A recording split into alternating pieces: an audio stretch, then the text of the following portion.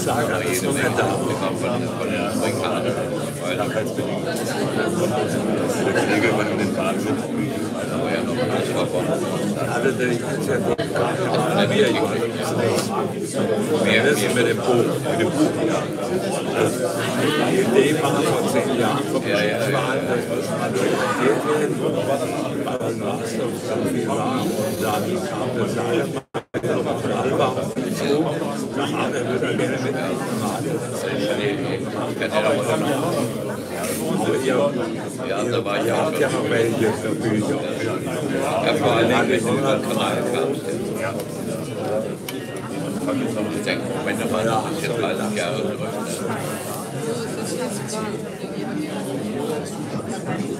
Aber dafür war ich auch auf der Quelle eines Sehr geehrte Damen und Herren, bitten, langsam zur Ruhe zu kommen. Ich darf Sie alle sehr herzlich heute Abend hier begrüßen, in dem auch wieder sehr gut gefüllten Saal. Wir haben das Thema uns heute vorgenommen, der Volksaufstand vom 17. Juni 1953 hat dieses Jahr eine ganz besondere Bedeutung. Es sind 70 Jahre.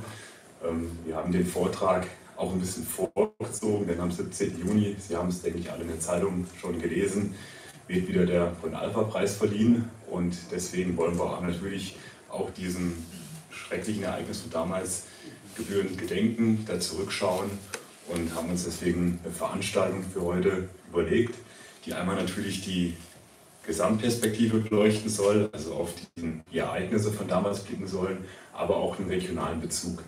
Ähm, wir hatten damals ja auch das Buch von dem Herrn Sagan, der ähm, das aus Rasdorfer Perspektive auch betrachtet hat. Deswegen möchte ich auch ganz besonders die Rasdorfer Gäste heute hier begrüßen, besonders unseren Stiftungsrat, Vize Bürgermeister und Herrn Jürgen Hahn, herzlich willkommen.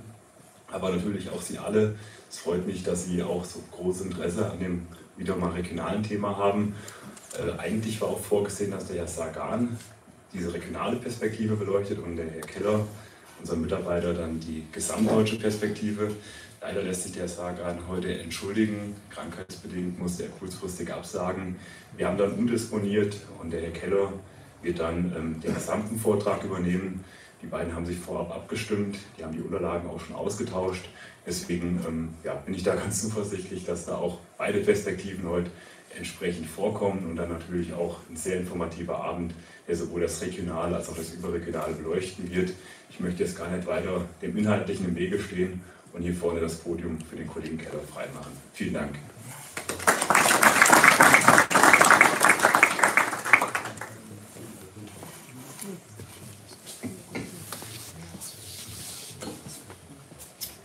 Ja, dann möchte ich Sie auch noch mal ganz herzlich begrüßen. Äh, ich bin Tim Keller. Mein Kollege Herr Stock hat es eben schon erwähnt. Eigentlich hatte ich zusammen mit Herrn Sagan den ganzen Vortrag vorbereitet. Gedacht war, wie gesagt, dass ich den allgemeinen Teil übernehme, also wie es zum 17. Juni und zum Volksaufstand gekommen ist. Und Herr Sagan hätte dann eben diese lokale Perspektive übernommen. Er hat mir aber freundlicherweise all seine Unterlagen zukommen lassen und ich konnte aus diesem Material dann auch noch einen ganz interessanten Vortrag stricken.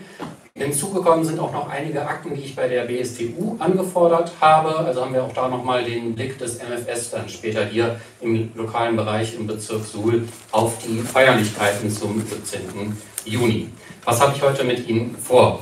Wir werden auf die Ursachen des 17. Junis eingehen, dann werden wir grundsätzlich auf die Ereignisse vom Volksaufstand eingehen, auf dessen blutige Niederschlagung durch die sowjetischen Truppen. Im Anschluss möchte ich mit Ihnen ganz kurz die Frage behandeln, da können wir später auch sehr gerne darüber diskutieren, ob das Ganze denn eine Schlappe für das MFS gewesen ist. Und ganz zum Schluss, da wäre eben jetzt der Teil von Herr Sagan gekommen, hätten wir dann den Volksaufstand im Kontext der Erinnerungspolitik, das heißt auch aus der östlichen DDR-Erinnerungspolitik. Beginnen wir mit den Ursachen. Hier müssen wir grundsätzlich schon einmal sagen, dass wir etwas weiter in die Zeit zurückspringen müssen, denn der Volksaufstand, der beginnt nicht einfach so, denn innerhalb der DDR-Gesellschaft, da gärt es. Wir springen jetzt von der zweiten Parteikonferenz der SED 1952 über den Aufbau des Sozialismus hin zu den Normerhöhungen, der später zur Initialzündung für den Volksaufstand wird. Beginnen wir ganz am Anfang. Warum gärt es in der DDR-Gesellschaft? Das beginnt schon mit der Errichtung der SED-Diktatur. Kurz nach dem Zweiten Weltkrieg und nachdem die Besatzungszonen eben geschaffen wurden, hatten eigentlich viele Deutsche noch darauf gehofft, dass es möglichst schnell zu einer Wiedervereinigung kommt und dass man auch freie Wahlen in den eigenen Gebieten hätte. Und diese Hoffnung, die wurde gerade für die sowjetische Besatzungszone, wo später die DDR dann entstanden ist, enttäuscht. Zeitgleich kommt es in dieser Zeit dann auch zur Verstaatlichung von Betrieben. Und beides ist jetzt schon ein Grund, warum es in der DDR-Gesellschaft gärt. Denn es gibt wenige demokratische Partizipationsmöglichkeiten und auch innerhalb der Diktatur sind die Möglichkeiten, den eigenen Willen kundzutun, die eigene Meinung zu sagen, sehr beschränkt. Und das sorgt hier auch in der DDR damals schon für Unmut. Es kommen jetzt hier noch verschiedene Punkte hinzu. Ab 1951, 52 beginnt man sukzessive die DDR aufzurüsten. Das Ganze immer parallel dazu zu sehen, dass ja auch die Bundesrepublik immer stärker in das westliche Verteidigungsbündnis, die NATO oder das westliche Wertebündnis integriert wird. Und es kommt 1952 auch noch zum Ausbau der innerdeutschen Grenze, der damaligen Demarkationslinie, hin zu einer gefährlichen Grenze. Und auch das sorgt für Unruhe in der DDR-Gesellschaft. Ein ganz, ganz wichtiger Punkt aber, der später auch noch mitentscheidend wird für den Volksaufstand, das ist die zweite Parteikonferenz der SED vom 9. bis 12. Juli 1952. Wenn man das ganz grob zusammenfassen möchte, dann wird dort der planmäßige Aufbau des Sozialismus beschlossen.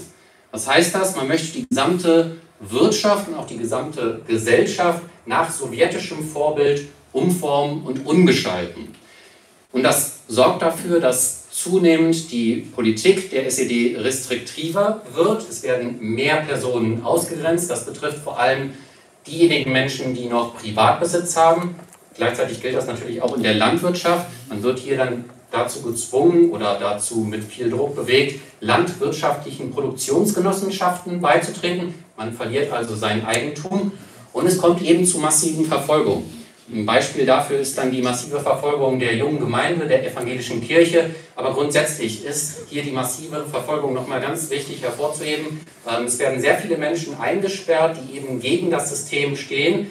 Bis zum Mai 1953 gab es Zahlen, die überliefert sind. Da hat man ungefähr 66.000 Menschen in den Gefängnissen. Und viele Menschen fliehen aufgrund dieser Verfolgung und diesem verschärften Aufbau des Sozialismus auch aus der DDR. Ungefähr 1953 äh, sind das dann ungefähr 331.000 Menschen, die aus dem Osten in den Westen fliehen, weil sie eben keine Perspektive mehr für sich in dem Staat erkennen oder eben weil sie massiv von diesen restriktiven Maßnahmen betroffen sind.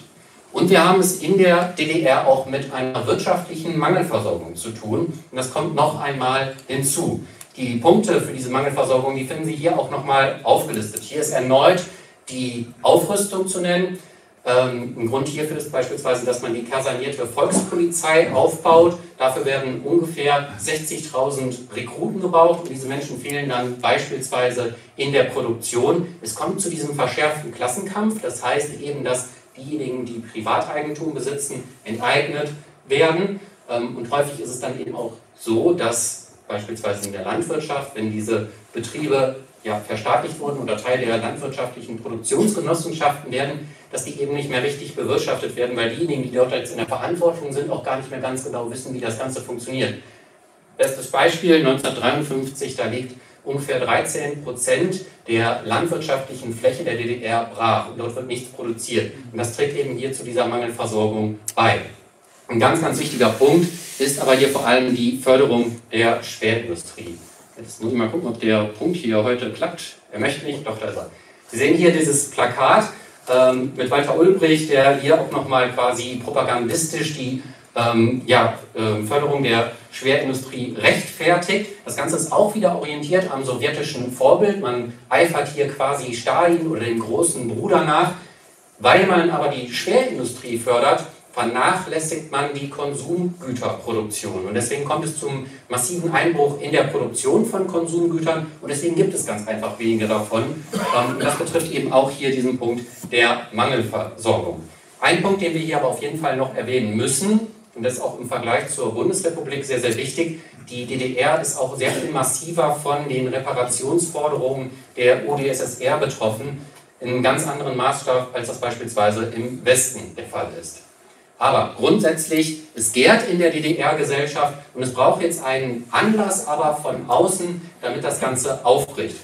Und dieser Anlass, der ist der Tod von Stalin am 5. März 1953. In Moskau übernimmt zu diesem Zeitpunkt dann eine kollektive Führung die Macht und die bekommen auch schon mit, dass es in der DDR-Gesellschaft Unruhe gibt, dass es dort eine große Krise gibt und dass das Ganze von der SED-Führung übersehen wird.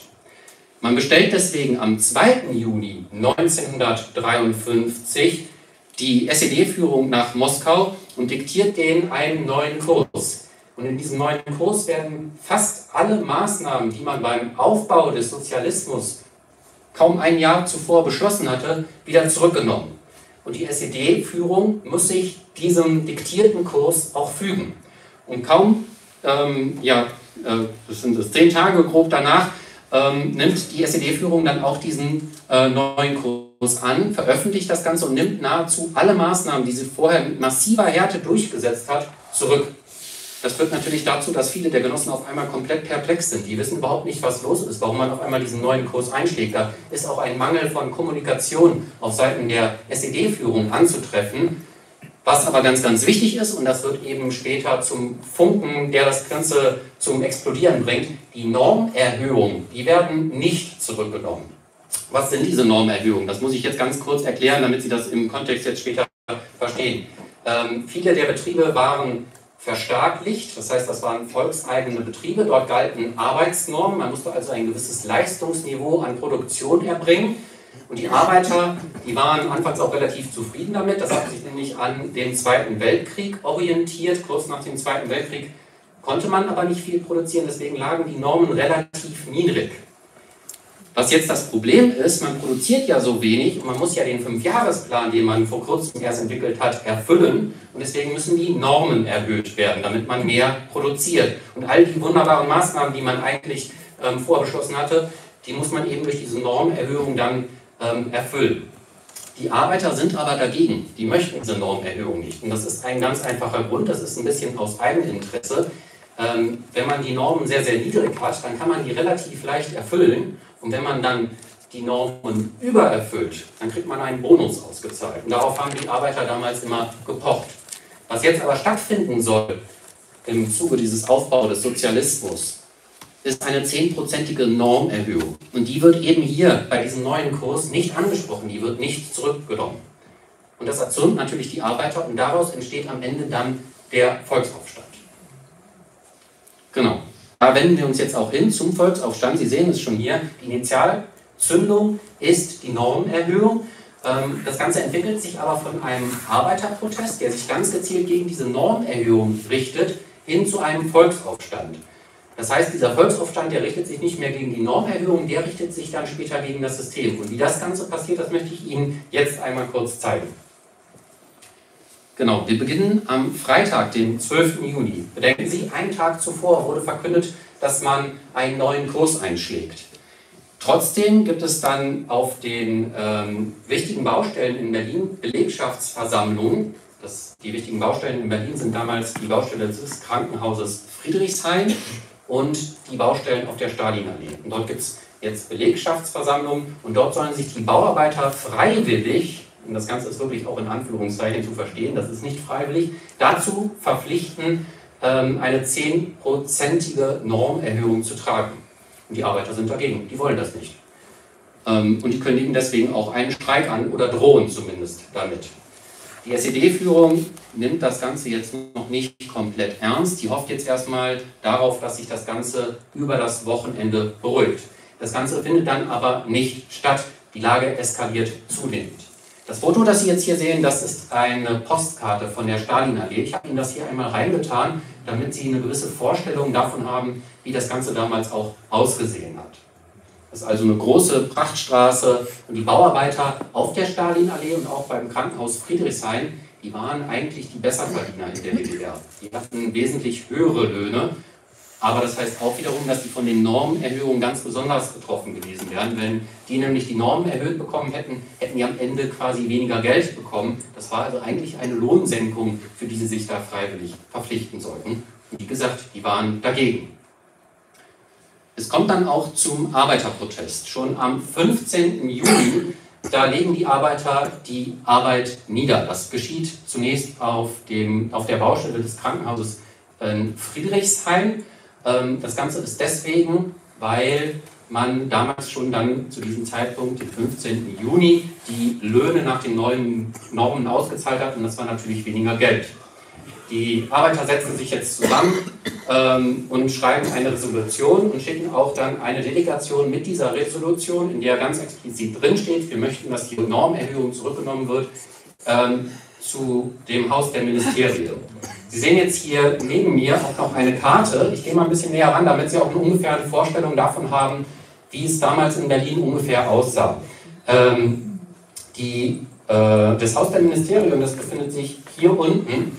Und die Stalinallee, die ist ungefähr hier oben zu finden. Das Krankenhaus Friedrichshain, das ist jetzt natürlich doof, das sieht man nicht ganz, aber wir haben leider keine bessere Karte gefunden. Das Krankenhaus Friedrichshain ist ungefähr hier auf dieser Höhe zu finden. Das liegt also alles sehr nah. Man hat hier zum einen eben die Stalinallee und hier oben das Krankenhaus Friedrichshain. Und die Entfernung, das ist alles Berlin-Mitte, hin zum Haus der Ministerien dort unten, ist sehr, sehr kurz. Und das heißt, auch der Weg der Informationen ist sehr, sehr kurz. Denn in kurzer Zeit kursiert natürlich die Resolution, die man hier verfasst hat, auch auf den übrigen Baustellen der Stalinallee. Die Bauarbeiter wissen also ab spätestens den 15. Juni darüber Bescheid, dass es auch andere Baustellen gibt, die die Normerhöhung zurückgenommen haben wollen. Am Dienstag, den 16. Juni, eskaliert das dann zunehmend. Da ist es immer noch ein Arbeiterprotest, der sich immer noch gegen die Normerhöhung richtet. Aber hier merkt man langsam, dass das Ganze kippt, dass sich jetzt auch die ganze Unzufriedenheit über die Diktatur und die Mangelwirtschaft mit in diesen Protesten durchschlagen. Es kommt erneut zu Arbeitsniederlegungen. Das Ganze ist auch darauf zurückzuführen, dass die SED sich sehr ungeschickt verhält. Man legt den Bauarbeitern dann beispielsweise eine Gewerkschaftszeitung vor, in der einfach nur die Normerhöhung nochmal gerechtfertigt wird. Und das macht natürlich die Sache nicht besser. Die Arbeiter sind weiter unzufrieden. Und gegen 8.30 Uhr, da ziehen dann circa 80 Arbeiter ähm, auf der Stalinallee entlang. Und dieser Protestzug dieser 80 Arbeiter, der wächst innerhalb kürzester Zeit dann auf 10.000 Menschen an, die bis vor das Haus der Ministerien ziehen und dann dort auch verlangen, mit Ulbricht oder Grotewohl zu sprechen, damit der eine Stellungnahme abgibt. Die erscheinen natürlich nicht. Wer aber erscheint, das ist Fritz Seltmann. Fritz Seltmann ist der Minister für Bergbau und Hüttenwesen. Der versteht sich auch selber als Arbeiter, spricht auch die Arbeiter, die sich dort versammelt haben, eben als ja, Teil des Proletariats, er wäre doch Raucharbeiter an und versucht nochmal die Normerhöhung zu rechtfertigen. Er wird dann aber, Sie sehen ihn hier oben bei diesem weißen Pfeil, ähm, von den Arbeitern vom Tisch runtergezogen und jetzt beginnt zunehmend etwas, was dann den Kipppunkt in dieses, diesen Volksaufstand beschreibt. Es werden jetzt nicht mehr die Rücknahme der Normerhöhung gefordert, jetzt wird mittlerweile freie Wahlen, Freiheit, Deutsche Wiedervereinigung und andere Parolen skandiert. Das Ganze kippt jetzt in Richtung des Volksaufstandes. Wie reagiert jetzt die SED? Die SED tagt zum gleichen Zeitraum im äh, Friedrichspalast im, äh, beim Politbüro. Diese Proteste die werden von der SED massiv unterschätzt. Man denkt im ersten Moment, wenn man einfach nur die Normerhöhung zurücknimmt, dann würde sich der Protest schon widerlegen. Und damit unterschätzt die SED und auch das Politbüro ganz massiv die Krise. Und das trägt eben auch nochmal zur Eskalation zum Volksaufstand bei. Ich habe Ihnen jetzt eine Tonaufnahme mitgenommen. Da können Sie auch ganz kurz nochmal die Rücknahme der Normerhöhung gerechtfertigt von Walter Ulbricht hören. Und die Perspektive, die sich aus diesen Beschlüssen ergibt, besteht darin, auf neue Weise unter der Führung der Sozialistischen Einheitspartei Deutschlands mit dem Block der antifaschistisch-demokratischen Parteien und Massenorganisationen eine solche Initiative zur Entfaltung zu bringen, dass das Aufblühen unserer Wirtschaft gewährleistet und eine musterhafte Friedenswirtschaft gestaltet wird. Deshalb ist es nach wie vor wichtig, die Arbeitsproduktivität zu erhöhen. Aber es ist falsch, auf administrativem Wege Normenerhöhung zu verfügen.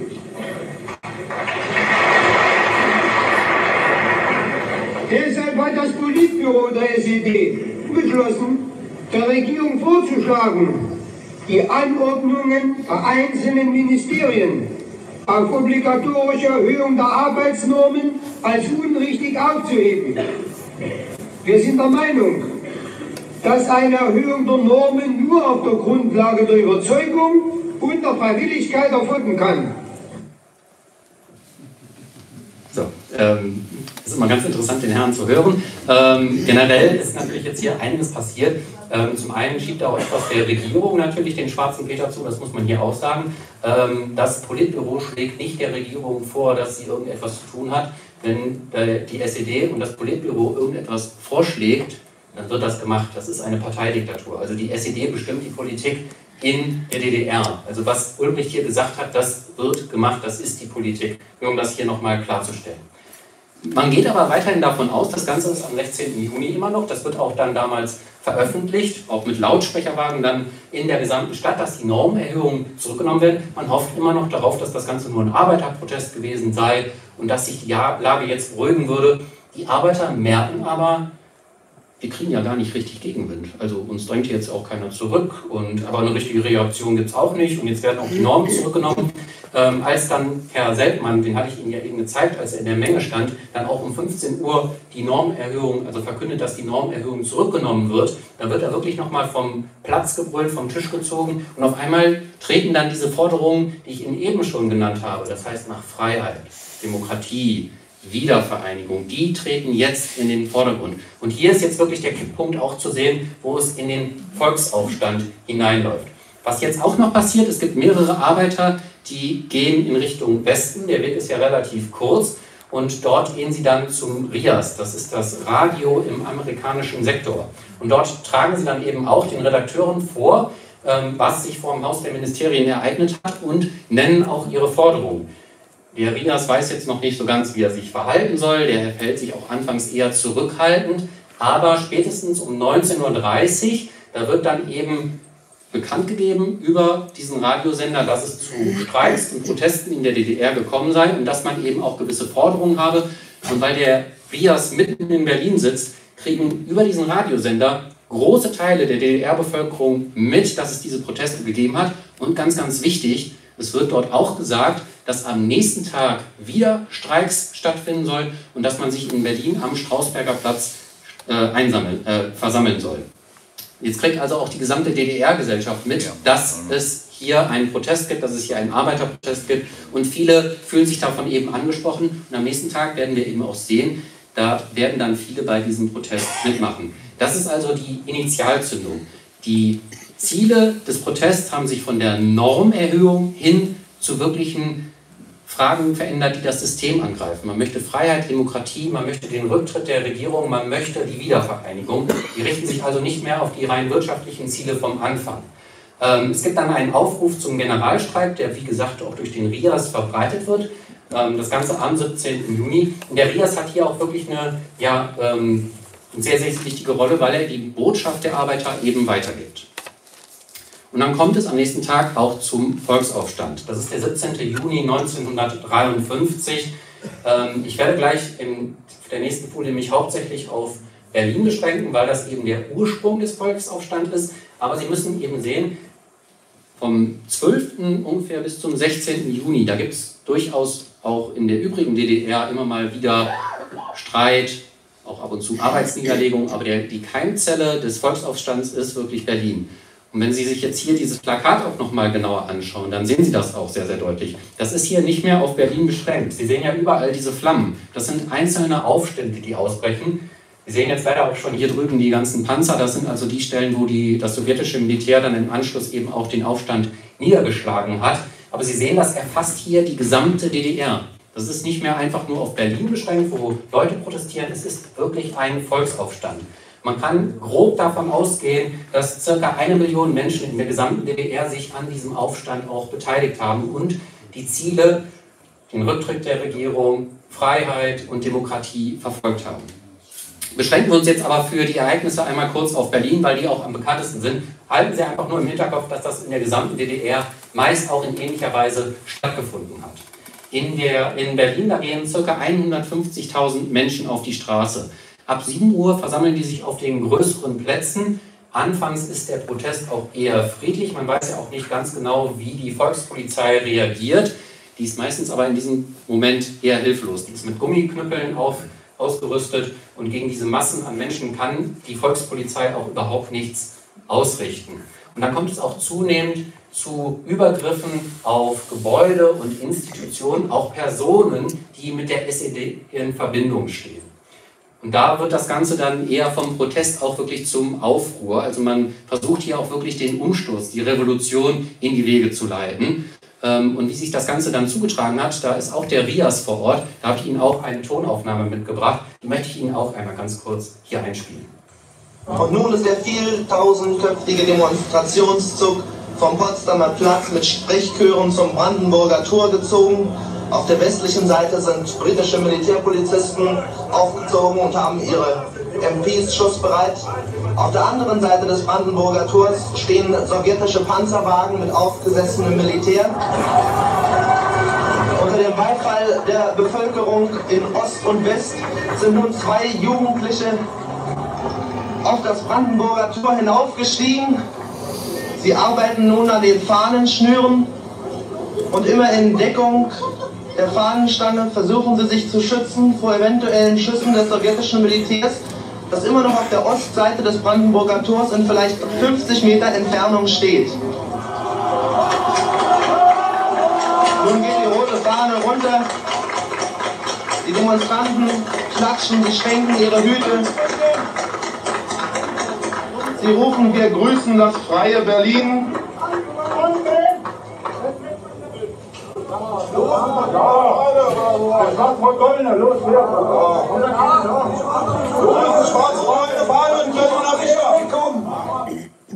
So, Sie haben es gehört. Ähm, da sind jetzt viele Punkte auch vorweggenommen worden. Was ich ganz wichtig finde, am Ende hört man nochmal die Demonstranten, die rufen die schwarz-rot-goldene Fahne herbei. Also die wollen wirklich die Wiedervereinigung. Das Ganze hat sich gedreht. Es geht nicht mehr um einfachen Arbeiterprotest. Man will die Revolution, man will die Wiedervereinigung, Demokratie. Das sind die zentralen Ziele, die hier verfolgt werden. Was man aber auch gehört hat, sind schon die sowjetischen Panzer im Hintergrund. Der Radiokommentator, der hat es ja auch kurz erwähnt, dass die sowjetischen Soldaten schon aufgezogen sind.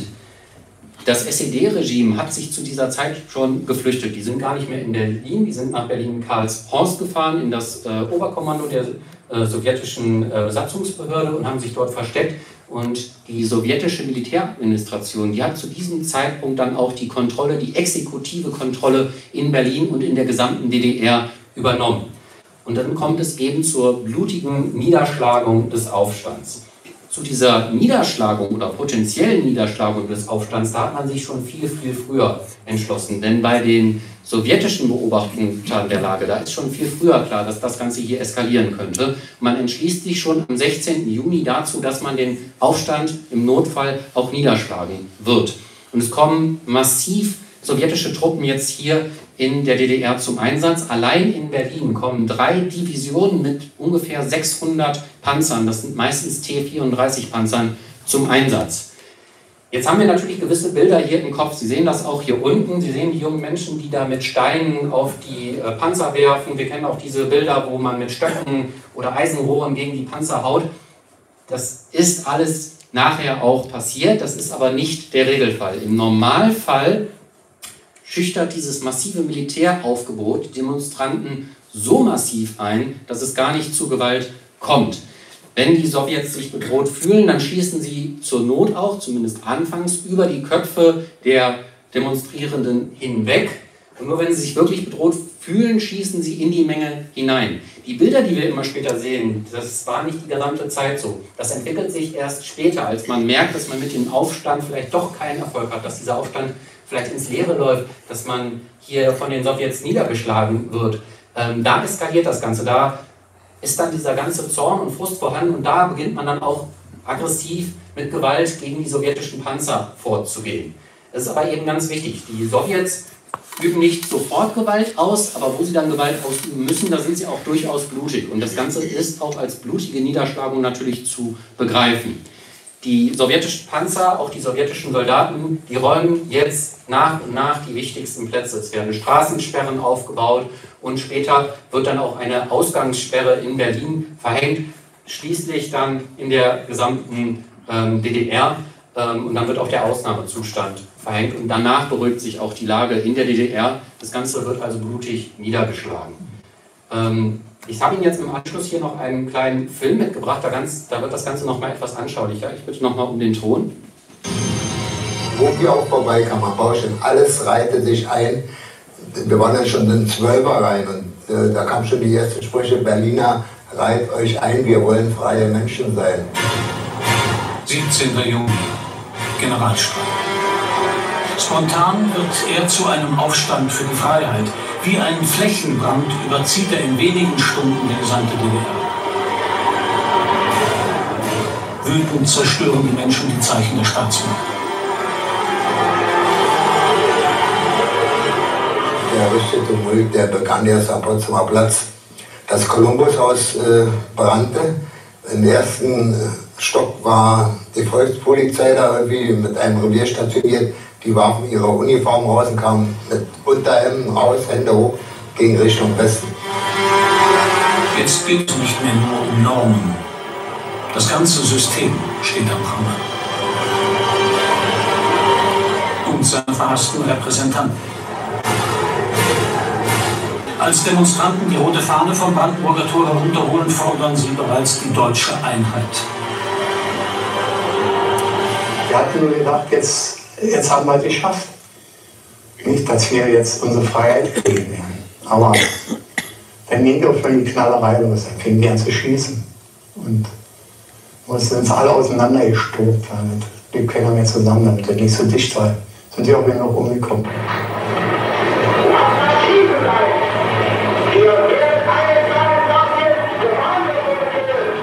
Was mir heute noch eine Gänsehaut über den Rücken treibt, die Brutalität mit der dann die Sicherheitsfunktionäre alles, was sie von den Demonstranten erwischen konnten, unten im Haus der Ministerien in die Keller trieb und verprügelt hat. Doch der Aufstand eskaliert. Das Volk beherrscht die Straßen. Während sich die SED-Spitze bei der Sowjetmacht versteckt, ist die Volkspolizei nicht mehr Herr der Lage.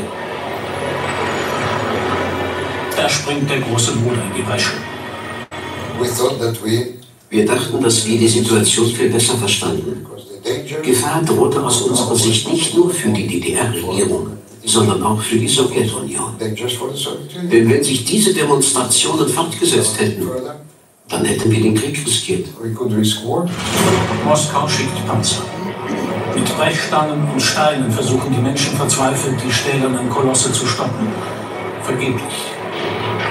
Der Aufstand wird niedergewalzt.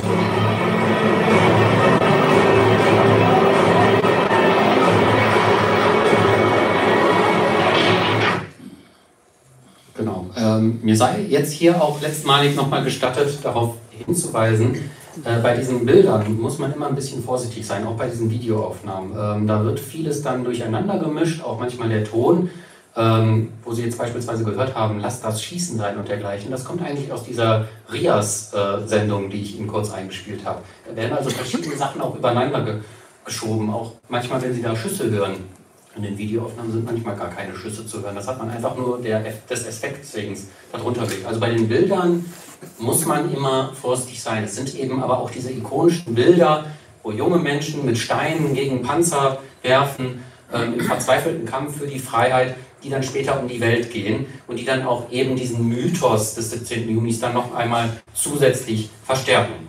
Was passiert jetzt ganz konkret? Ähm, gegen 12 Uhr räumen die Panzer in Schrittgeschwindigkeit, die rasen auch nicht einfach durch die Menge, die Plätze und Straßen. Ähm, und da fallen bei auch Schüsse. Und häufig kommt es dann eben auch zu Toten.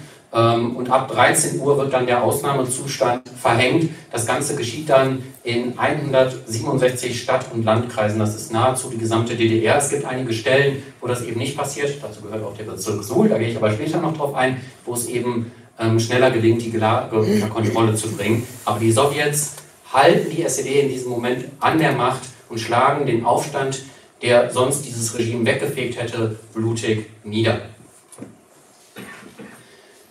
Genau, jetzt kommen wir auf den Bezirk Suhl zu sprechen. Das ist ja unser Bezirk und der gehört zu den wenigen Bezirken, ähm, wo es keinen Ausnahmezustand gibt. Es gibt nur ganz vereinzelt Streiks und Proteste. Das ist auch eher in den urbanen Zentren anzutreffen.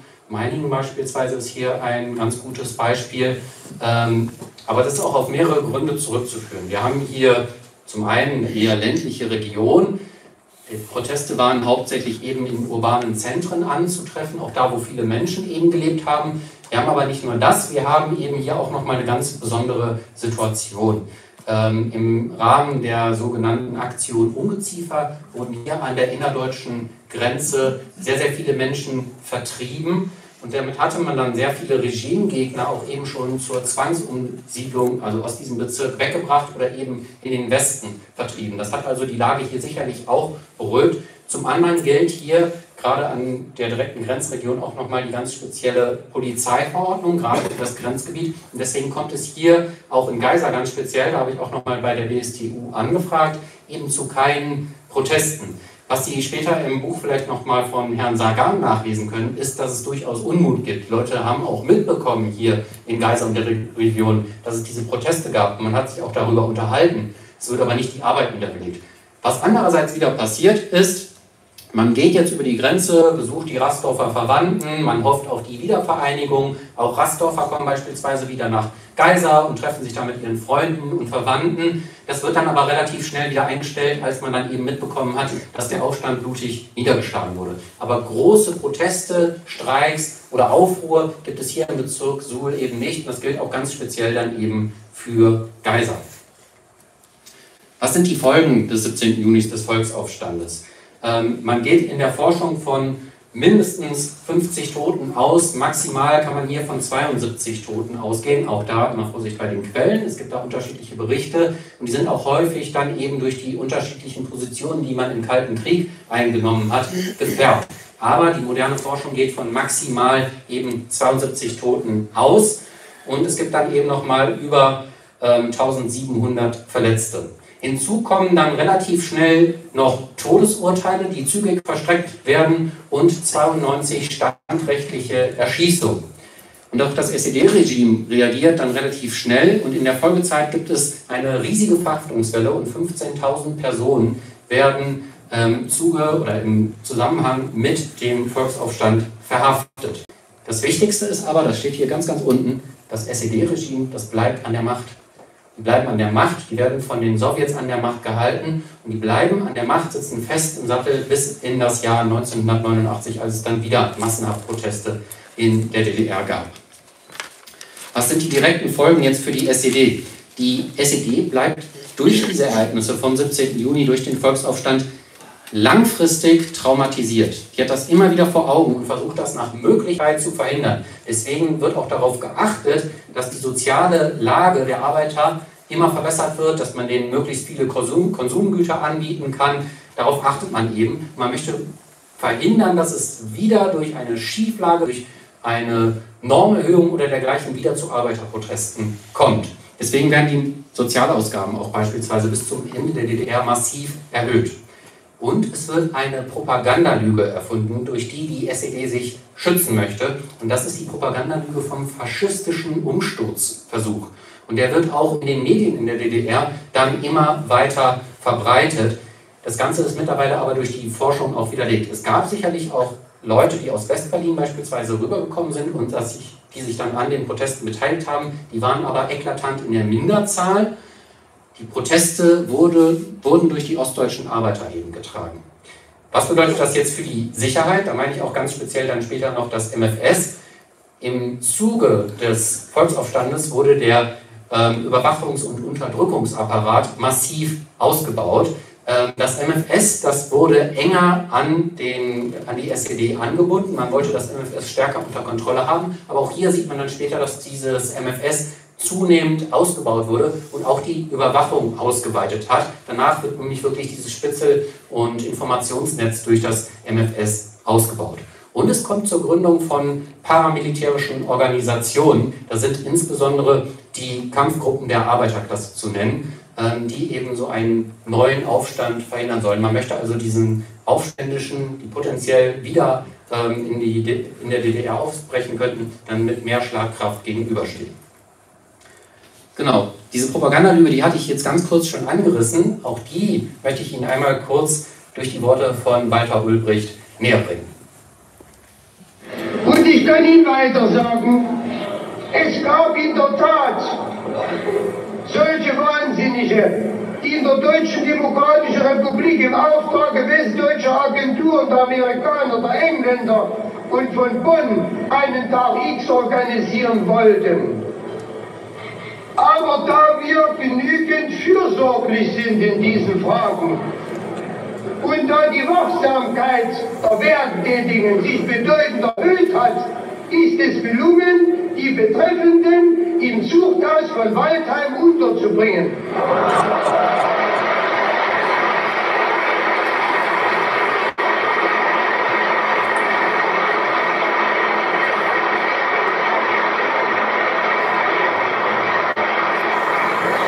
Dort haben Sie jetzt die Möglichkeit, wie es anders gekommen ist, nachzudenken und auch über den Tag X, nicht wahr, können Sie einige Jahrzehnte dort nachdenken. Auch hier, da sprechen die Worte wieder Bände. Ich habe Ihnen deswegen auch hier nochmal ähm, zwei Fotos mitgebracht. Das eine ist wirklich im direkten Nachgang eine Demonstration, die äh, auch in Berlin, wenn ich mich nicht falsch erinnere, stattfindet. Man versucht also auch seitens der SED wieder den öffentlichen Raum durch Massenkundgebungen einzunehmen. Ähm, und da stellt man sich eben gegen die Provokateure und steht äh, fest an der Seite der Regierung. Man redet jetzt immer davon, dass es westliche Provokateure und dergleichen wären und dass man hier den Aufstand versucht hätte, was aber eigentlich gefordert wurde, das steht hier unten, freie Wahlen, Demokratie, Wiedervereinigung. Also der Gegensatz zwischen diesen Dingen, der ist auch nochmal in der Rede von Walter Ulbricht doch sehr, sehr deutlich rausgekommen. Auch das Menschenbild der, der Führung in der SED kommt ja hier nochmal deutlich zum Ausdruck. Man schiebt jetzt wieder irgendwo den schwarzen Peter hin, man fasst sich nicht an die eigene Nase, ist auch nicht bereit, Fehler zuzugeben, sondern man sagt, es waren eben faschistische Elemente, die rübergekommen sind aus dem Westen und hier den Aufstand geprobt haben. Wir haben eigentlich gar nichts falsch gemacht. Was bedeutet das Ganze jetzt aber für das MFS? War das Ganze eine Schlappe für das MFS oder ist das MFS später erst in seiner kompletten Form aus diesem Volksaufstand hervorgegangen? Wenn wir uns jetzt das MFS zu diesem Zeitpunkt erst einmal anschauen, dann müssen wir hier erst einmal konstatieren, dass das MFS noch nicht den gleichen Umfang, auch was das Personal angeht, hatte, wie es dann beispielsweise in den 80er Jahren der Fall war. Das war also nicht im gleichen Maße besetzt und hatte auch noch nicht dieses breite Spitzelnetz. Man hat sich eher auf diese geheimdienstliche Tätigkeit konzentriert. Man hat also versucht, ja, Geheimdienstzirkel aufzubrechen, ähm, Spionage vom Westen zu verhindern. Natürlich ist man auch gegen Andersdenkende vorgegangen, keine Frage, aber noch nicht in der massiven Form, wie das später stattgefunden hat. Ähm, die Berichte über die Stimmung in der Bevölkerung spielten beim MFS zu diesem Zeitpunkt auch noch eine ganz untergeordnete Rolle. Da hat man noch nicht besonders viel Wert drauf gelegt, das ändert sich dann später. Und man muss hier auch nochmal sehen, dass es im Rahmen des Aufbaus des Sozialismus ähm, zu einer Umstrukturierung innerhalb der DDR gekommen ist. Man hat die Länder aufgelöst und hat die Bezirke gegründet und deswegen wurde auch das MFS strukturell neu organisiert und das hat auch intern bei dem MFS natürlich für Konfusionen gesorgt, die dann später auch beim Volksaufstand, wo man nicht richtig reagiert hat, zutage traten.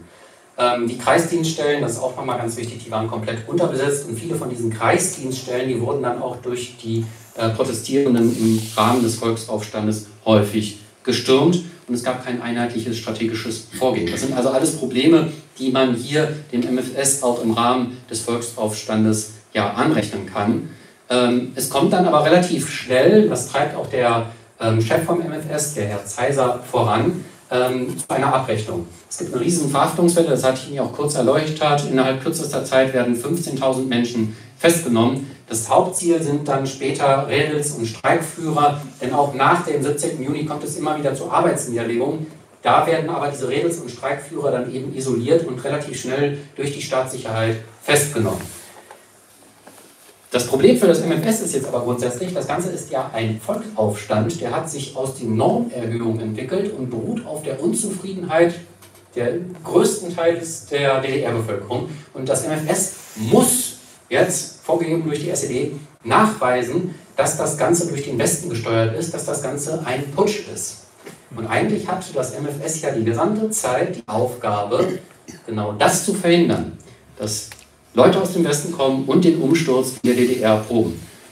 Die müssen sich also hier dieser Lüge der äh, SED fügen und müssen sich selbst verleugnen. Die müssen jetzt Beweise dafür finden, dass es diesen faschistischen Putsch gibt. Und natürlich stehen die dadurch nochmal viel, viel schlechter da. Das ist ja ein Riesenproblem. Damit sagen sie ja nochmal sehr viel deutlicher. Natürlich, wir haben in unserer Aufgabe versagt. Eigentlich war es ja gar nicht deren Aufgabe. Sie hätten, eigentlich hätte die Aufgabe bei der SED gelegen. Aber eben weil sie diesen Putschversuch, diese westliche Unterwanderung nachweisen müssen, damit verleugnen sie sich dann eben selber und geraten noch mehr in die Bredouille. Und daran ist vielleicht auch die Schlappe des MFS in diesem Moment zu sehen. Was passiert jetzt? Das MFS gerät erstmal in eine Krise. Ähm, man hat eben diese Erklärungsnot, man kann nicht wirklich erklären, dass es westliche Agenten gibt. Man findet dafür auch nicht wirklich die Beweise, muss sie aber finden, muss also Lügen konstruieren und Leute als Sündenböcke verurteilen. Das lässt aber eben Herrn Zeiser auch nicht gut aussehen und deswegen wird der seines Postens enthoben. Und äh, das Ministerium für Staatssicherheit wird dann noch einmal herabgestuft zum Staatssekretariat für Staatssicherheit und ist dem Innenminister unterstellt. Das ist also nochmal eine Herabstufung in der Hierarchie und auch in der administrativen ähm, Verfügungsgewalt, die man damals in der DDR hatte. Ähm, grundsätzlich wird auch die Stellung der SED innerhalb der Staatssicherheit gestärkt. Man möchte also die ähm, Staatssicherheit nicht als Staat in Staat haben, man möchte die ähm, das MFS unter Kontrolle haben, unter Kontrolle der SED und es werden, werden auch die Parteistrukturen in das MFS mit übernommen, damit man wirklich die Hand auf dem, MS hat, äh, auf dem MFS hat und das MFS damit auch unter Kontrolle hat. Ähm, man möchte danach tunlichst vermeiden, dass es neue Überraschungen gibt, einen neuen Tag X, eine neue Überraschung, einen neuen Volksaufstand. Und das treibt dann auch der neue Chef des MFS, Ernst Wollweber, den Sie hier sehen, voran. Ähm, der kreiert ein neues Informationssystem. Es werden Informationsgruppen gegründet und die fassen Infos zusammen, die sich aus den täglichen Lageberichten aus den Kreisen ergeben. Also diese Informationen, die werden gesammelt und dann als Lagebericht dann weitergegeben in die höheren Strukturen und landen dann später auch, wenn sie ganz, ganz wichtig sind, beim Politbüro.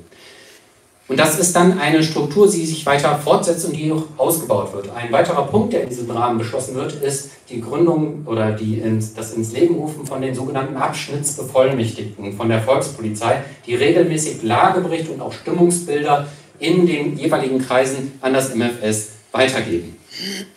Und es kommt zu dem umfassenden Ausbau des Spitzel- und Überwachungssystems. Und damit meine ich jetzt nicht unbedingt die Qualität des Ganzen, sondern die Quantität. Da wird das wirklich dann aufgebaut. Da wird dann zunehmend ähm, darauf aufgebaut, dass man mehr informelle Mitarbeiter hat, dass man mehr Personal hat und man versucht auch umfassend die gesamte Bevölkerung zu überwachen, um dort auch dann wieder ähm, das Stimmungsbild mitzunehmen und dann eben einen neuen Volksaufstand zu verhindern.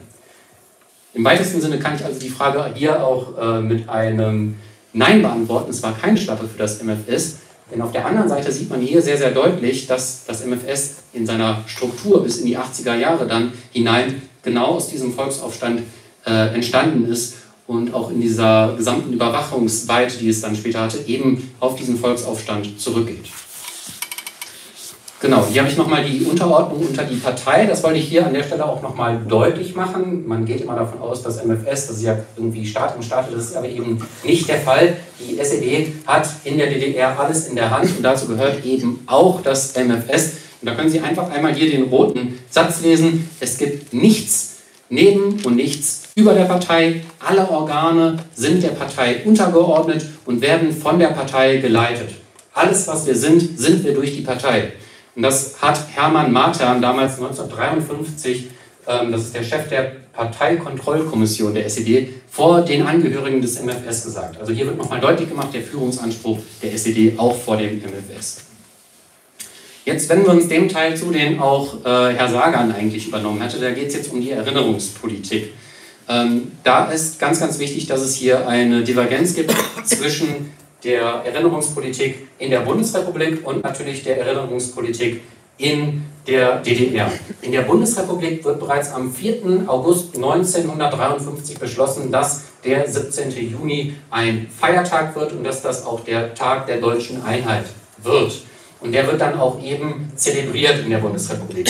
In der DDR passiert genau das Gegenteil. Man tabuisiert den 17. Juni und versucht den zu verschweigen und in Vergessenheit geraten zu lassen.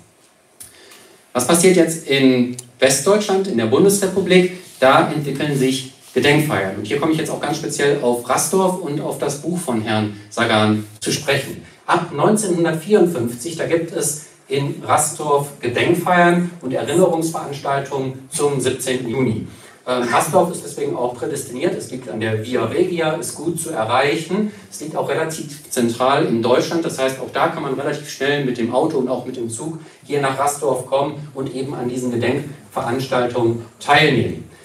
Ähm, dabei kommt es immer zu wiederkehrenden Elementen und Herr Sagan hat das hier auf der Seite einmal zusammengefasst. Es kommt immer wieder zu Straßenumbenennungen, ähm, es gibt Mahnfeuer, es gibt Schweigemärsche, Banner und Fahnenträger und auch ähm, Sonnenwendfeiern. Das kennen wir heute eher aus der rechten Szene. Da muss ich Ihnen jetzt schon einmal sagen, das changiert auch etwas. Später wird das dann häufig auch von der rechten Szene begangen. Zu diesem Zeitpunkt, wir sprechen jetzt hier von den 50er Jahren, ist das aber eben noch nicht einfach nur Teil der rechten Szene. Das gehört eben damals noch zur Erinnerungspolitik und wird hauptsächlich eben von der Bevölkerung der breiten Bevölkerung getragen. Genau, später dann 1959, da übernimmt dann eine ganz, ganz wichtige Organisation, das Kuratorium Unteilbares Deutschland, die Organisation der Veranstaltungen in Rastorf und formt das Ganze jetzt auch um zu Großveranstaltungen. Rastorf wird hier wirklich zu einem Zentrum der Erinnerungsfeiern zum 17. Juni. Ich habe Ihnen jetzt hier ein paar Bilder auch noch mitgebracht. Das bekannteste vielleicht vom Kuratorium Deutsche äh, unteilbares Deutschland. Das sehen Sie hier drüben, dieses dreigeteilt. Es geht also nicht nur darum, dass man äh, möchte, dass es hier zwischen Ost- und äh, Westdeutschland zur Wiedervereinigung kommt. Man spricht hier auch ganz gezielt nochmal diese verlorenen Ostgebiete an. Auch hier will man nicht loslassen, möchte es wieder Teil von Deutschland machen.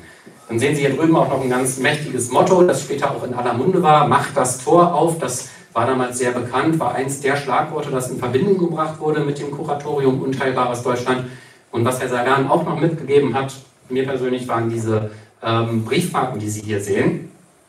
Da wird auch nochmal an den 17. Juni erinnert und er hat mir mit auf den Weg gegeben, wenn man damals einen Brief oder ein Paket mit diesen Briefmarken beklebt hat und in den Osten geschickt hat, dann wurden die natürlich nicht weitergegeben. Die sind dann liegen geblieben oder beim MFS gelandet. Genau, es gibt jetzt mehrere Großveranstaltungen und da möchte ich Ihnen zwei jetzt auch ganz speziell zeigen. Ähm, das ist einmal 1961, da ist der Ehrengast der Außenminister Dr. Heinrich von Brentano. Ähm, da nehmen ungefähr 6000 Menschen dran teil. Ähm, und Sie sehen auch hier, da ist eine ganze Menge zu finden, denn Rastorf hat ja den größten Dorfanger in Hessen. Also da findet man auch wirklich sehr viel Platz, ungefähr 20.000 Quadratmeter.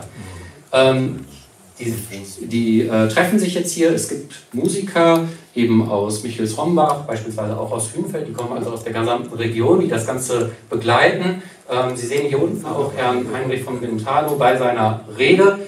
Ähm, und das Ganze etabliert dann auch eine gewisse Struktur für diese Gedenkfeiern. Das heißt, man trifft sich anfangs eben hier, hat eine große Gedenkfeier mit vielen Reden, häufig auch eben mit prominenten Gästen. Und danach geht man in einem Schweigemarsch mit Fackelträgern zur Setzelsbacher Höhe und entzündet dann dort eben ein Mahnfeuer. Den Holzstoß, den können Sie hier unten sehen, da versammeln sich dann auch wieder sehr viele Menschen. Es gibt dann dort auch wieder Reden und natürlich gehört auch dazu, dass es Störaktionen von Grenzern gibt. Die Grenzer sind mit Lautsprecherwagen dann hier aufgefahren und haben versucht, die Veranstaltung zu stören.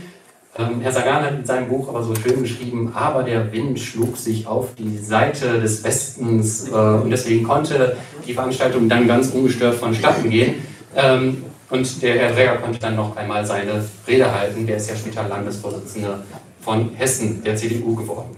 Genau, und das gibt Ihnen grob den Überblick, wie typischerweise diese Veranstaltungen hier in Rastorf dann auch stattgefunden haben und das Ganze bis ins Jahr 1969. Eine Besonderheit gibt es noch und das ist das Jahr 1964. Auch da gibt es wieder eine Massenkundgebung mit rund 6000 Teilnehmern. Ähm, der Wahlspruch ist hier, wir gehören zusammen. Und die Besonderheit dieses Großereignisses ist, dass man hier Fahnenstaffetten in Rastorf empfängt. Das ist also quasi eine Staffel. In dem Fall beginnt die hier unten in Saarbrücken oder in der Nähe bei Aachen und zieht dann entlang durch, das, durch Gesamtdeutschland, Westdeutschland bis eben an die innerdeutschen Grenze. Und diese jungen Menschen, die eben diese Fahnen dann durch das ganze Land tragen, die haben die Fahnen von allen Ländern, das heißt auch von der DDR und eben von den verlorenen Ostgebieten dabei. Und die kommen dann am Ende am Dorf Anger in Rastorf an und werden dann dort wieder feierlich begrüßt. Auch danach gab es wieder große Reden, wichtigen Besuch und auch danach das traditionelle äh, Mahnfeuer an der innerdeutschen, äh, an der innerdeutschen Grenze hier bei Setzelsbach. Genau, 1969 endet dann aber die ganze Tradition. Und das ist auf die neue Ostpolitik und den neuen Bundeskanzler Willy Brandt zurückzuführen. Ähm, es gibt hier in dieser eher konservativ geprägten Re ähm, Region durchaus noch die Fortsetzung dieser Gedenkfeiern. Das Ganze zieht sich fort so ungefähr bis ins Jahr 74, 73. Danach ebbt das Ganze aber wirklich ab und es kommt auch zunehmend zu Konflikten mit den jungen Menschen. Die können sich nicht mehr wirklich mit dieser ganzen Gedenkfeier identifizieren. Ich habe auch einige Berichte eben in der BSTU lesen können, wo es dann beispielsweise in Philippsthal auch Schlägereien zwischen eher links ausgerichteten Jugendlichen und äh, Jugendlichen gibt, die diese Mahnfeuer eben entfachen wollen. Also es ändert sich hier die Politik ähm, und die neue Ostpolitik gewinnt dann, dann Überhand und das Kuratorium ähm, Unteilbares Deutschland, das gerät dann bis hin zu den 80er Jahren auch zunehmend in die Bedeutungslosigkeit. Viele Menschen können sich eben nicht mehr mit diesen Zielen identifizieren. Man geht ja auch davon aus, dass die Teilung auf Dauer bleiben wird. Man geht eben nicht mehr von der Wiedervereinigung aus. Und gerade was die Ostgebiete angeht, ähm, da wird relativ deutlich, dass man die wahrscheinlich nicht wiedergewinnen wird. Das heißt also, das Kuratorium Unteilbares Deutschland kann seine Ziele auch wirklich nicht mehr durchsetzen, genießt nicht mehr den gleichen politischen Stellenwert. Und im Zuge dieses Niedergangs dieses Kuratoriums werden dann auch nach und nach, und das betrifft eben auch Rastorf, diese Feierlichkeiten an der innerdeutschen Grenze eingestellt.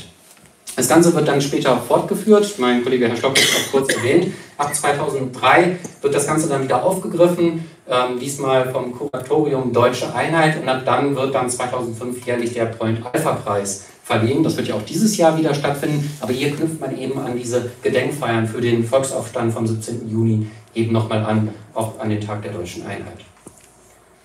Genau, jetzt wenden wir uns dem Blick des MFS einmal ähm, zu. Beim MFS ist es ganz, ganz wichtig, dass, das, dass beim MFS ähm, immer Alarmbereitschaft bestanden hat, wenn der 17. Juni sich näherte. Ähm, man wollte zu diesem Zeitpunkt dann die Grenze sehr viel stärker überwachen und auch die eigenen Objekte stärker überwachen. Sie sehen jetzt hier drüben eine Akte von der BSTU, die habe ich übersandt bekommen. Da möchte ich auch nochmal ganz herzlich danken. Was Sie jetzt aber hier sehen, ist, das Ganze ist aus dem Jahr 1989. Also bis in das Jahr 1989 war man hier alarmbereit und dachte, hm, am, am, Tag des Volksaufstands, den 17. Juni, da könnte es eventuell knallen. Also sind wir mal lieber vorsichtig und hat deswegen besondere Maßnahmen in die Wege geleitet. Ähm, dazu zählt eben na, so, der, die erhöhte Einsatzbereitschaft, ich habe Ihnen die Sätze hier aus der Akte auch nochmal gelb markiert, und der verstärkte Objektschutz. Man hat also mehr Personen zum Schutz der eigenen Objekte zum Einsatz gebracht, auch hier an der innerdeutschen Grenze, wo die, Grenze zu diesem Zeitpunkt stärker überwacht man sollte einen möglichst lückenlosen Lagefilm, das heißt einen lückenlosen Lagebericht, dann bei seinen Vorgesetzten abliefern und die sollten das natürlich dann auch weitergeben. Also man war in Alarmbereitschaft, man hat besonders aufgepasst und das auch immer schon vor dem 17. Juni. Das ging immer vom 16. bis ungefähr zum 18. Juni, dass man ganz besonders vorsichtig war auf Seiten der Grenztruppen und der Staatssicherheit. Genau, dann gibt es hier noch eine Besonderheit. Es gibt die vorbeugenden Personenkontrollen. Ähm, was jetzt hier in der Akte steht, ist ganz grob zusammengefasst. Wir haben ja bestimmte Personen im Auge, über die liegt auch ein operativer Vorgang an. Und genau diese Personen, da gehen wir jetzt mal vorbeugend hin und überprüfen die noch einmal vorbeugend. Ähm, die könnten ja irgendwie an den 17. Juni in Erscheinung treten und den wollen wir schon mal einmal klar machen. Da kommt wieder dieser Unterdrückung und Zersetzungsgedanke zum Ausdruck, dass die am 17. Juni überwacht werden. Wir wollen hier sicher gehen, dass die eben nichts Doofes anstellen. Und Sie sehen, wie viele Menschen das auch sind. Es sind einzelne Operativvorgänge, die Klarnamen sind hier natürlich nicht zu finden, aber es sind alles einzelne Personen, die eben während dieser operativen Personenkontrolle dann nochmal gezielt überprüft wurden ähm, und ganz besonders scharf überwacht wurden. Äh, können Sie das nochmal zurückmachen? Was, wer ist das? Auf der rechten Seite sind das die, die ähm, Leute, die diese Personen überwachen. Mhm. Und was sind das für, für Namen auf der linken Seite? Das ist der Name vom operativen Vorgang. Also ähm, Vorgang, jetzt muss ich mal gerade selber gucken, Relais beispielsweise, mhm. ähm, ist dann eben der Vorgang, wo man eben diese eine Person überprüft und da drüben steht dann eben derjenige, der dafür zuständig ist. Also in dem Fall ist es äh, Genosse, jetzt kann ich kaum lesen, Spörer Holtin. Ist mit dem Licht ein bisschen schwierig, da muss ich mich vielleicht nochmal entschuldigen. Aber Sie sehen ja ungefähr die Dimensionen auch. Und das gilt jetzt hier nur für unseren Grenzbereich ganz speziell. Also es sind auch hier wieder extrem viele Personen, äh, die hier gezielt noch einmal durch das MFS eben überprüft werden. Genau, das gilt aber dann auch nochmal, die besonderen Kriterien gelten aber auch nochmal ganz besonders dann, da habe ich Ihnen auch nochmal eine Akte mitgebracht, für bestimmte Personengruppen, ähm, die vorbeugend überprüft werden sollten. Äh, man wollte ähm, beispielsweise dann das Rauditum verhindern, das steht hier drüben noch einmal, das sehen Sie hier unten. Also jugendliche Raudis sollten ganz besonders überprüft werden. Äh, man wollte die auch nochmal unter Kontrolle halten. Ähm, auch da wieder einen operativen Vorgang anlegen. Ähm, das wird also hier sehr, sehr detailliert aufgeschlüsselt, ist sehr komplex. Ich springe jetzt etwas in der Zeit, deswegen Gehen wir mal weiter, denn wir haben auch nochmal die Überprüfung der Hetzveranstaltungen. Da möchte ich mit Ihnen auch nochmal drauf hinaus, denn natürlich gab es ähm, auch von Seiten des MFS eben den Blick in Richtung Westen. Die haben ja diese Veranstaltung gesehen und haben die dann eben überprüft. Die nennen das eben Hetzveranstaltungen. Das sehen Sie hier auch auf der Akte. Hier oben. Hetzveranstaltungen des CDU-Landesverbands Hessen am 17.06.1978 auf dem Sichenberg-Philippstal. Also hier ganz in der Nähe in der Richtung Pfarrer. Genau, und die Ehrengäste dieser Veranstaltung sind Helmut Kohl und wieder Alfred Bregger. Ähm, Sie müssen natürlich sich jetzt auch vorstellen, die CDU versucht in dieser Zeit im Wahlkampf auch wieder diese Diskussionen rund um den 17. Juni. Man kritisiert ja auch Helmut Schmidt und Willy Brandt für die neue Ostpolitik diese alte Tradition der Erinnerung an den 17. Juni wieder ins Leben zu rufen. Und deswegen lassen sich natürlich auch Helmut Kohl und Alfred Bregger zu diesem Zeitpunkt eben in Philippsthal dann blicken. Genau, jetzt haben wir hier einen ganz, ganz detaillierten Bericht des MFS zu den Vorbereitungen der Veranstaltung. Ich gehe jetzt gar nicht auf die Details ein. Was wichtig ist, das Ganze beginnt schon am 15.06., also am 15. Juni. Da bekommt man schon auf Seiten der Grenzer mit, oh, da ist irgendwas im Busch, die Jugendlichen treffen sich, da oben, dann werden Wagen dort hingefahren, man baut eine Plattform auf, es wird ein Holzstoß angelegt, auf einmal stehen da Sanitäranlagen, das wird dann hier schrittweise alles festgehalten. Und nicht nur das, man dokumentiert das Ganze auch noch fotografisch. Ähm, das sehen Sie jetzt hier drüben. Ähm, das eine Bild ist vom 16.06.1978, das andere vom 17.06. Und Sie sehen auch, dass es hier eine kleine Veränderung gibt. Zum einen ist das Ganze hier sehr viel besser jetzt mittlerweile aufgebaut. Das ist ja auch kurz vor der Veranstaltung. Die Personen fehlen jetzt lediglich noch. Hier drüben gibt es auch noch diesen Holzstoß. Die Jugendlichen haben den am 16.06. schon angezündet. Der ist also schon abgebrannt. Die haben dort schon gefeiert. Deswegen ist er hier auf dem Bild nicht mehr zu finden. Also man hat das hier sehr detailliert eben aufgeschlüsselt und auch eben gutachtet und eben an die Vorgesetzten weitergegeben. Was passiert auch bei der Veranstaltung? Kurz bevor Helmut Kohl und Alfred Dregger bei der Veranstaltung erscheinen, da werden Luftballons losgeschickt und die tragen eine Botschaft, nämlich Einigkeit und Recht und Freiheit für das deutsche Vaterland. 1953, 17. Juni 1978. Ein Gruß von der Freiheitskundgebung der hessischen CDU. Auch das aufgefangen vom MFS, dokumentiert. Ähm, und dann steht hier unten ein Exemplar der während der Veranstaltung gestarteten Balance. Man hat das also auch nochmal dokumentiert, abgelegt. Das Ganze, wie gesagt, aus dem Jahr 1978. Ähm, Genau, dann sehen Sie hier auch nochmal die Veranstaltung. Ähm, es werden dort Reden gehalten, es wird äh, auch laute Musik gespielt, das wird alles wieder sehr detailliert aufgeschlüsselt. Hier drüben sehen Sie das Foto der Veranstaltung. Es sind sehr, sehr viele Menschen da, ungefähr wieder 6000 Menschen, die sich dort versammeln. Zumindest steht das so in der MFS-Akte. Ähm, und was danach passiert, ist ein schwerer Verstoß, ein schwerer Grenzübertritt, den ich Ihnen auch nochmal mitgebracht habe. Sie sehen hier drüben Alfred Dregger auf dem Weg zur Grenze, umgeben von ganz, ganz vielen Personen. Und dann hat er, hier unten steht es, provokatorisch das Staatsgebiet der DDR betreten. Und zwar um einen Meter. Auch das wurde festgehalten und wurde weitergegeben. Es hätte ja was daraus entstehen können. Also man sammelt hier detailliert kleinste Informationen, die vielleicht mit dem Ballon wäre vielleicht noch wichtig gewesen, aber das, das zu fotografieren, hm, ob das so wichtig ist. Aber man ist hier eben vorsichtig. Man möchte den 17. Juni nicht noch einmal haben. Man möchte die Lage unter Kontrolle halten. Und deswegen hat man hier ein Auge auf jedes noch so kleine Detail. Und das drückt auch nochmal die Angst des SED-Regimes vor dem eigenen Volk sehr schön aus. Und es zeigt Ihnen auch nochmal, wie weit die Angst des SED-Regimes vor dem eigenen Volk ging. Und wir können nur froh sein, dass es 1989 dann die friedliche Revolution gab, dass dieses System ja, hinweggefegt wurde und diesmal mit Kerzen in der Hand und ohne sowjetische Panzer. Ich danke für Ihre Aufmerksamkeit.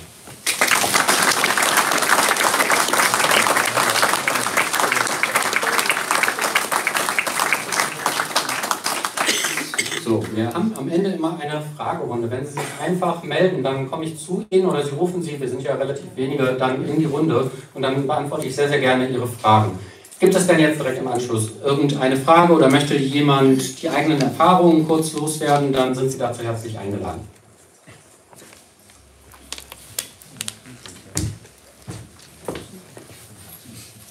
Ja, Herr Tadjus, Sie kennen mich ja ganz sicher. Ich war ja von 75 oder von 73 an Bürgermeister in Rasdorf und ich habe ja vieles miterlebt, gerade auch den 17. Juni und war dann von 75 bis 1983 Kreisvorsitzender Jungen Union. Und wir haben damals immer hier oben, äh, ja, bei Point Alpha, beziehungsweise auch in Tann oben äh, an der Grenze zu Motzlein, haben wir immer Grenze niedergelegt. Und da waren auch, oder der spätere hessische Ministerpräsident Bouffier war da gewesen, Landtagsabgeordnete, Bundestagsabgeordnete, unser Bundestagsabgeordneter Wilfried Böhm aus Melsungen, der ja lange sich auch für die deutsche Einheit eingesetzt hat. Ich kann mich noch daran erinnern, hat sogar mal eine Schallplatte aufgelegt mit dem Deutschlandlied, mit der Nationalhymne, die dann verteilt wurde. Und ich kann mich an ein Ereignis erinnern, haben wir bei Motzlar hatten wir den Kranz niedergelegt und kurze Zeit später waren die Phobos da gewesen und haben den geklaut. Damals haben den weggenommen. Ja. ja, das war schon interessant gewesen.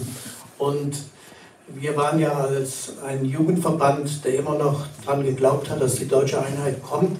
Und wir haben dann in den Jahren, in den 70er und 80er Jahren immer noch Zonenrandkongresse durchgeführt. Ich kann mich an den ersten erinnern in der Stadthalle in Tann, wo wir damals 500 junge Leute aus Deutschland, die da waren, insbesondere aus den Ländern ja, von Bayern über Hessen, Niedersachsen, Schleswig-Holstein und auch aus Berlin, wo wir dann immer wieder ja, noch dargestellt haben, die Folgen der deutschen Teilung und vor allen Dingen aber auch dafür eingetreten sind, dass wir wieder oder noch die Einigkeit oder die äh, deutsche Einheit wieder weiterhin verfolgen. Und ich kann mich auch daran erinnern, wir waren auch mal in Berlin gewesen. Damals waren wir hier aus dem Landkreis Fulda mit einem Bus dort gewesen. Und damals waren insbesondere ging es um die Fluchthilfe. Das war auch ein Thema, denn es gab ja sehr viele, die aus der ehemaligen DDR raus wollten und es gab ja auch junge Leute, die dann das unterstützt haben und dann in den Osten gefahren sind und mit Autos äh, entsprechend und haben da Einbauten gemacht, dass sie die mit rausbringen sollten. Also die Fluchthilfe, das war auch ein großes Thema. An eine Veranstaltung, die wir dann nochmal versucht haben, in den 80er Jahren 1981, auch den 17. Juni wieder in Rasdorf nochmal zu beleben, war da hatten wir den Nietzsche Gesellschaft für ich kann mich jetzt nicht mehr genau erinnern, der war damals da gewesen, da hatten wir auch, ich glaube, knapp 100 Leute waren da gewesen, aber das hat man dann schon gemerkt, das Interesse war also nicht mehr so gewesen, wie es ursprünglich mal gedacht war. Darf da einmal? Ja. ja. Ähm, viele von den Geschichten, die Herr Just jetzt dankenswerterweise schon erzählt hat, die finden Sie übrigens auch in dem Buch. Ähm, also kaufen Sie das ruhig. Wir haben das hier auch zum Verkauf angeboten. Ähm, das hört natürlich nicht auf. Man gedenkt weiter zum 17. Juni. Es gibt noch nicht mehr diese Großveranstaltung und eben auch nicht mehr das Kuratorium Unteilbares Deutschland, das das Ganze organisiert. Also da ist ein gewisser Unterschied zu sehen. Sie waren jetzt auch Teil der CDU. Da muss man eben auch nochmal erwähnen, ähm, vorher war das ein gesamtgesellschaftliches Phänomen, dass man den 17. Juni auch aktiv zelebriert hat. Danach ebbt das wieder ab. Ähm, da kennen Sie ja sicherlich den Begriff der Acht Generation 68er, also diese 68er-Generation, die ist eher liberal geprägt, ist Teil der SPD, beteiligt sich auch an der Friedensbewegung, steht der neuen Ostpolitik sehr, sehr offen gegenüber. Und hier gibt es auch eine gewisse Diskrepanz eben. Ähm, viele Leute in den Städten möchten auch gar nicht mehr den 17. Juni feiern, möchten eher die Aussöhnung. Hier in den ländlichen Regionen spielt das eine sehr viel wichtige Rolle und das ist natürlich auch darauf zurückzuführen, dass man hier den direkten Kontakt zu der Grenze und zu der DDR gehabt hat. Gibt es Ihrerseits noch Fragen? Mein Kollege hat das Mikrofon in der Hand, also wer gerne, genau. Ich will noch ein bisschen die, Vor die Nachkriegssituation erklären, denn das ist ein bisschen meiner Meinung nach zu kurz gekommen. Für meine Eltern war die Nachkriegssituation nämlich ein großes Thema, wie es zu diesem Volksaufstand gekommen ist. Man muss sich überlegen immer, wie war die Situation von 45 bis zum Frühling 53. Die Leute im Osten, die haben gehungert, im Winter gefroren und es fing sofort der Terror der sowjetischen Besatzungsmacht an. Drei Konzentrationslager wurden weitergeführt, unter anderem auch Buchenwald. 170.000 waren wieder inhaftiert worden. Und von den 170.000 sind 42.000 gestorben. An Unterernährung, die haben sie einfach verhungern lassen und vor allen Dingen an Tuberkulose. Befreit wurden jedenfalls meine Eltern und diejenigen im Osten nur von ihren Wertsachen von den Russen, aber von nichts anderem. Deswegen ist das Wort Befreiung, also wenn ich meine Eltern gefragt hätte, seid ihr befreit worden? Dann hätte ich gesagt, ja, sind noch nicht befreit worden. Also sie haben gehungert, gefroren und Terror. Und dann fingen noch die Maßnahmen an. Betriebe wurden abgebaut, Bahngleise wurden abgebaut, Betriebe wurden enteignet, die landwirtschaftlichen, äh, die Landwirtschaften über 100 Hektar wurden enteignet. Und bis 100 Hektar, die wurden zwar nicht enteignet, die bekamen aber so einen hohen Abgabesold aufgebrummt, dass die kaum zu schaffen waren. Das ging von einem Terror zu anderen. Dann kam eine Parteikonferenz nach der anderen. Und immer wieder Versprechungen, wie schön doch der Sozialismus ist. Und immer wieder ging es den Leuten schlechter. Es war ja schon das Gespräch davon, Aufbau der Schwerindustrie und damit wurde auch die Konsumgüterproduktion vernachlässigt. Es gab kaum noch etwas zu kaufen für den täglichen Bedarf. Meine Schwiegermutter ist bis 52, wenn es wirklich nicht mehr anders ging, bis nach Zella in der Rhön mit dem Zug gefahren. Dann ist sie über den Katzenstein bis zum Theobaldshof gelaufen, über die Grenze weg, mit dem Rucksack, hat auch schmal gehalten Handwerkzeuge im Rucksack gehabt und hat die Handwerkzeuge dann eingetauscht gegen das, was sie dringend gebraucht hat. Bis 52 haben dann aber die örtliche Polizei ein Auge zugedrückt, wenn das nur zum eigenen Bedarf war. Und wehe dem hat er aus dem Geschäft gemacht. Dann waren sie dran. Ja, danke schön. Ähm, das ist natürlich ein Teil davon. Ich muss natürlich immer dann ein bisschen reduzieren, das ist klar für den Vortrag, aber um es in ein Wort zusammenzufassen, es gärt eben in der DDR ja, zu diesem Zeitpunkt. Die Leute sind unzufrieden, es gibt massive Repressionen und es gibt eben auch zu wenig Konsumgüter, ganz klar. Also man ist grundsätzlich unzufrieden und das drückt sich eben in diesem Volksaufstand auch aus, diese Unzufriedenheit. Es ist eben kein faschistischer Putsch, es ist eine, ein Aufstand gegen das politische System, das eben verbunden ist mit all diesen repressiven Maßnahmen und mit dieser Mangelwirtschaft. Gibt es Ihrerseits noch Fragen? Ich gucke mal in die Runde. Ja, hier vorne. Fritz Ewald. Ich war 28 Jahre lang Pfarrer in Dankmarshausen. Und zwar bin ich am 15. Januar 1986 in das Pfarrhaus eingezogen, nach anderthalb Jahren Genehmigungsverfahren des Staates, äh, weil es Schutzstreifen war, wo ich hinzog. Am 15. Juni eingezogen da haben wir gemerkt, am 17. hier stimmt etwas nicht, so am zweiten Tag oder dritten Tag. Und haben das die letzten drei Jahre oder vier Jahre erlebt, was Sie beschrieben haben. Am 17. Juni saßen die Grenzer alle getarnt an der Grenze und am Schlagbaum vor dem Ort, und zwei Kilometer davor oder vier Kilometer davor, saßen die nächsten Kampfgruppenmitarbeiter. Das waren Männer, die wir aus dem Dorf kannten, die an dem Tag eine Uniform trugen und auch eine Waffe im Halfter hatten. Da haben wir gemerkt, dass der 17. Juli da ist und von Wittershausen aus wurden die Busse rangekarrt von denen, die vom Westen den Osten angeguckt haben. Und wir kamen uns vor wie Affen im Käfig. Genau, ich hatte es äh, kurz angerissen eben, ich wollte es Ihnen durch die Akten ein bisschen darstellen. Jetzt waren Sie ja auch noch Pfarrer, habe ich rausgehört. Ähm, und da stand man natürlich auch nochmal unter besonderer Beobachtung, was diese Gruppen angeht, die hier in der Akte dargestellt werden, die sollen eben unter besondere Beobachtung gestellt werden. Da stehen ganz, ganz viele verschiedene Dinge. Ich werde jetzt nicht wieder alles einzeln aufschlüsseln, aber wie gesagt, es gibt dieses Rauditum, also Jugendliche, die vielleicht, ein Rauditum war ja alles Mögliche, Punkmusik oder sonstiges gehört haben, die wurden speziell hervorgehoben als jemand, der beobachtet werden muss. Es gab aber auch Antragsteller auf eine ständige Ausreise. Die wurden eben auch nochmal im Rahmen des 17. Junis besonders beobachtet. Ich weiß gar nicht, wie es mit Pfarrern oder Kirchenangehörigen ist, aber gerade hier in der katholischen Rhön, ich habe ja mit meinem Kollegen Walter Schönfeld auch mal den Vortrag über die katholische Kirche gehalten. Ich kann mir gut vorstellen, dass Menschen, die eben auch kirchlich aktiv gewesen sind, eben auch von diesen repressiven Maßnahmen dann nochmal besonders stark betroffen gewesen sind. Ich finde es schön, dass Sie das geteilt haben. Das bestätigt nämlich wieder das, was man so staubtrocken hier in den MFS-Akten mit all diesen wunderbaren äh, Worten wie Hetzveranstaltungen und dergleichen vorfindet, da haben Sie jetzt diese lebendige äh, ja, Schilderung geliefert, die das Ganze nochmal bestätigt. Also das, was Sie hier in den Akten finden, diese besondere Alarmbereitschaft, durch Ihre Aussagen eben nochmal erneut wiederholt und auch ja, verifiziert. Gibt es noch weitere Fragen? Möchte jemand noch was sagen? Ganz kurz. Ja. Ja, Tim, du hast mich kurz erwähnt. Wir hatten ja den Vortrag zusammen gemacht über die schwarze Ecke.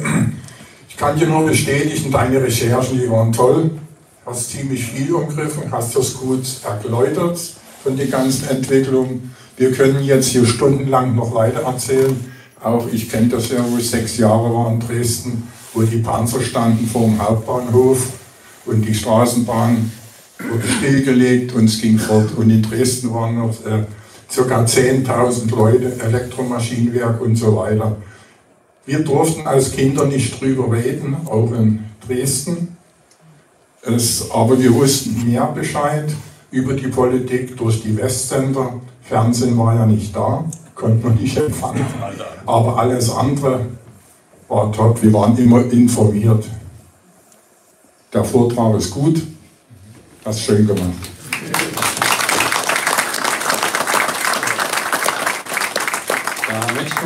Einen Punkt möchte ich an der Stelle nochmal hervorheben, jetzt wo wir ein bisschen Zeit haben. Es gibt natürlich hier auch äh, einen Vergleich, den man mal ziehen kann.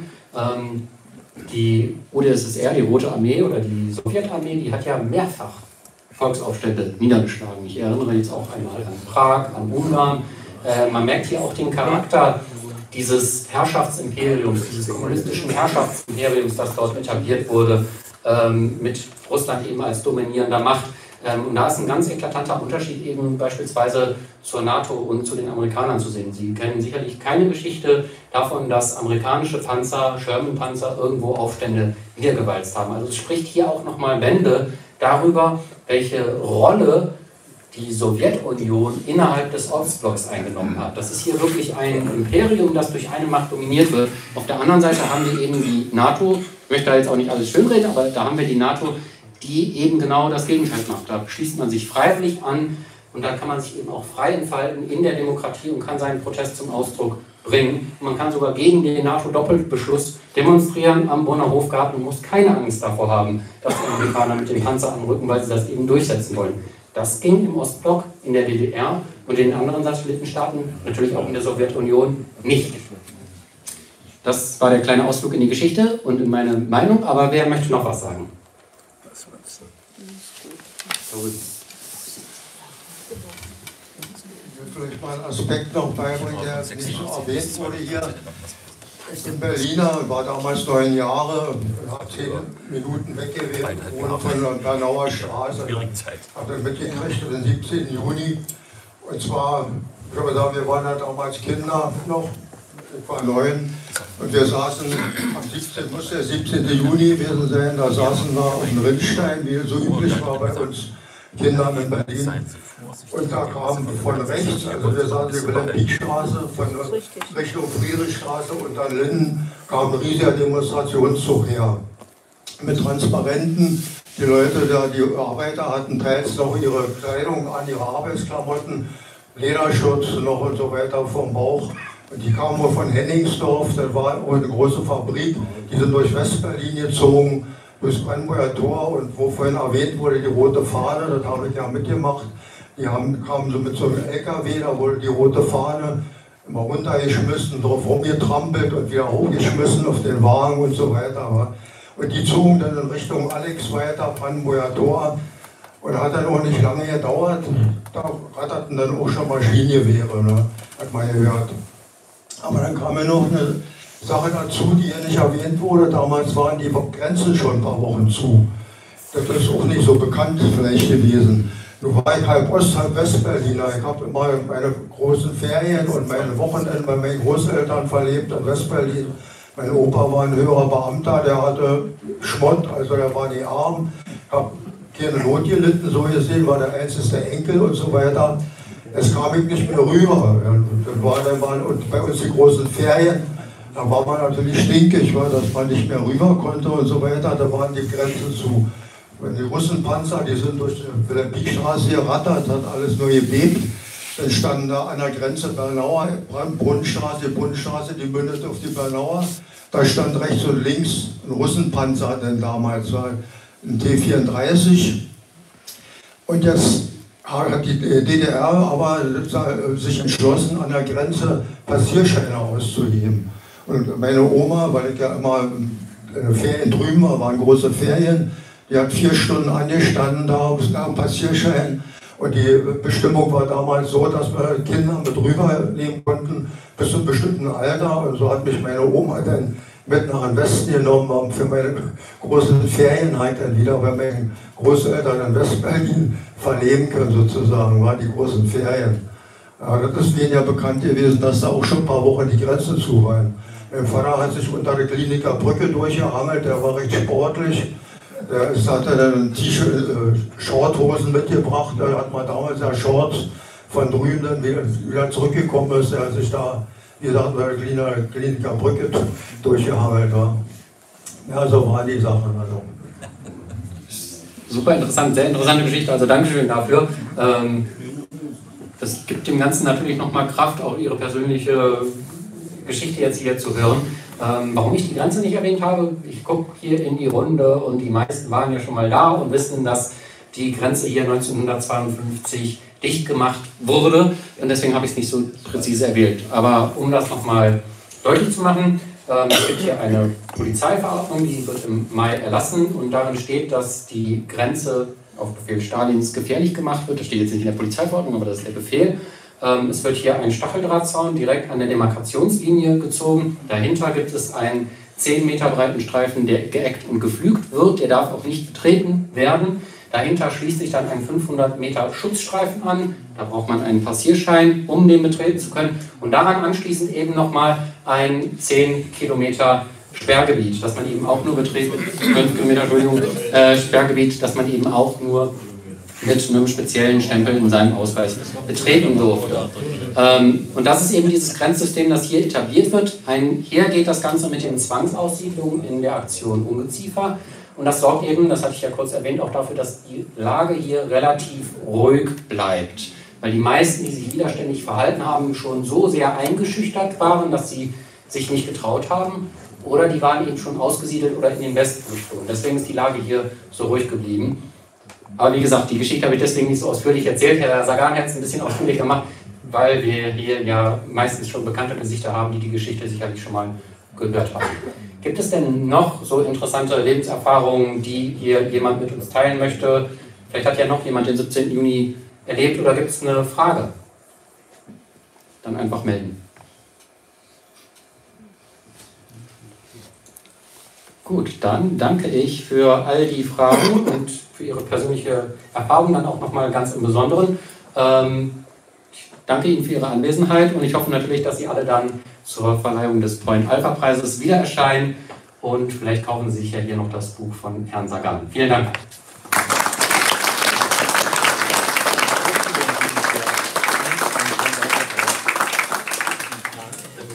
Kannst du höchstens noch mal korrigieren?